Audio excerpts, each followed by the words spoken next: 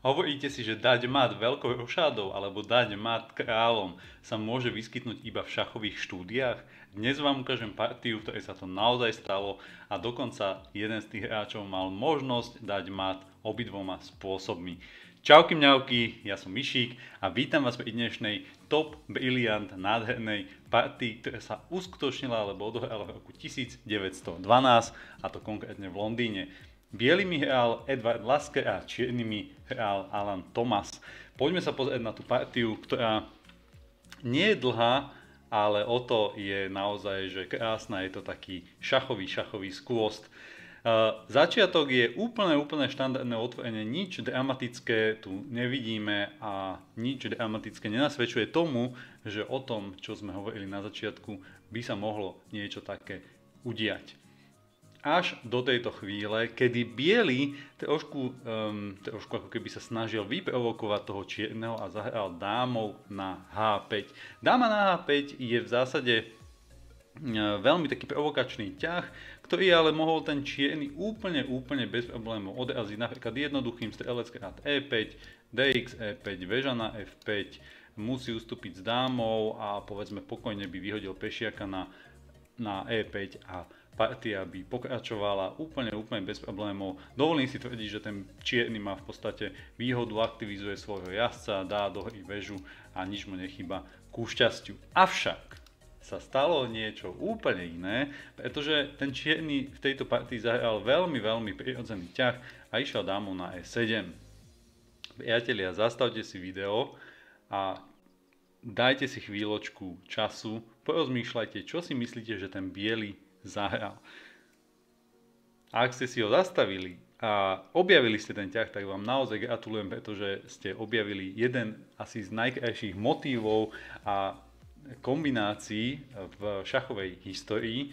No a ten biely zahral obeď dámy na F7 a toto je úplná, úplná pecka, pretože touto obeťou dámy biely vynúcuje, to je dôležité, vynúcuje mat. A poďme sa teraz pozrieť vlastne na tú celú, celú kombináciu. Inak e, je úžasné, že vlastne e, hrali to niečo vyše 100 rokov dozadu a vlastne už ten prepočet vtedy bol pomerne veľmi, veľmi presný. No, ale takýto ťah samozrejme toho čierneho šokoval, nemá inú možnosť iba tú dámu vyhodiť a prichádza jazdec na F6 dvojšach. Tu si treba povedať, že ak by ten král teraz zacúval dozadu na H8, no tak vychádza jazdec na G6, takýto krásny mat s dvomi jazdcami, takže tam on nemohol ustúpiť, no a má jedinú možnosť ísť kráľom na H6, ale prichádza jazdec na G4, jazdec E na G4, šach, král má jedno jediné ústupové pole, je to král G5 prichádza opäť ďalší šach pešiakom, opäť má iba jedno ústupové pole, kráľom na F4 prichádza G3 šach, opäť má iba jedno ústupové pole, kráľom na F3, teraz taký krásny spätný ťah strelcom na E2 šach, opäť jedno jediné ústupové pole, kráľ G2, už teraz tá situácia na šachovnici je pomerne bizarná, ale to najlepšia, tá čerešnička nakoniec prichádza práve teraz, lebo išlo väža H2 šach, král G1. Nachádzame sa v pozícii v 17. respektíve 18. ďahu, o ktorej som hovoril na začiatku, kedy biely vyhráva dvomi naozaj kurióznymi spôsobmi a to buď veľkou rošádou alebo ústupom kráľa. Party sa stalo kráľ D2 a prišiel mat, ale takisto by vyhralo aj veľká rošáda mat.